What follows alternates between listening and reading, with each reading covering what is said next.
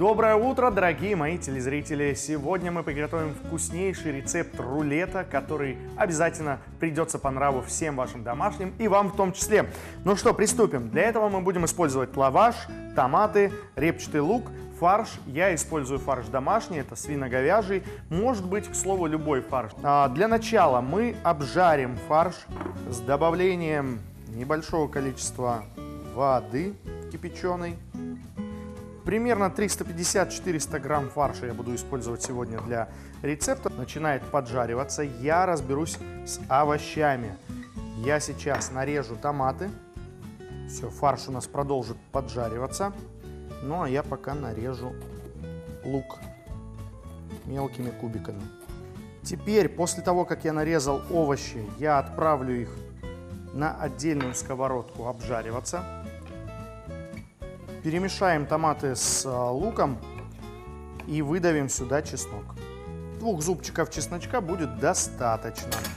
Все. Также не забывайте помешивать и фарш.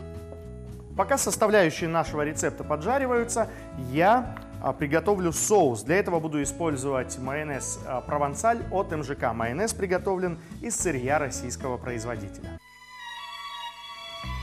Хозяйке на заметку. Для того, чтобы сделать блюдо еще вкуснее, я использую провансаль от МЖК. Свежий майонез местного производства, только из натуральных ингредиентов. И всегда радует качеством. Производится по традиционной ГОСТовской рецептуре, которой уже более 40 лет. Провансаль от МЖК. Свежесть, натуральность, качество. Добавляю 2 столовых ложки майонеза. И сюда же добавляю 2 чайные ложки томатной пасты. А теперь, как вы, наверное, уже догадались, начинаю это все хорошенько смешивать. Так, я уже расстелил лаваш. Что теперь я делаю? Смазываю его соусом. Так, и вот сейчас на предварительно смазанный соусом лаваш равномерно раскладываем овощи по лавашу. Ну и финальной стадией будет раскладочка фарша по лавашу.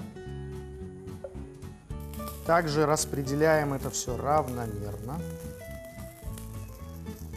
Чуть не забыл про сыр. Хорошо, у нас очень бдительные видеооператоры, которые напомнили мне о таком важном составляющем рулета. Натираем твердый сыр. А теперь начинаем рулет сворачивать. Стараемся это делать максимально аккуратно, но в то же время плотненько. Следим за тем, чтобы лаваш не разрывался.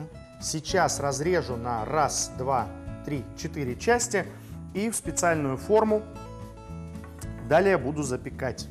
Но все, господа, практически финал. Остается украсить немножечко зеленью и пеньки из лаваша и фарша готовы. Все, Правдин приготовил, приятно подкрепиться.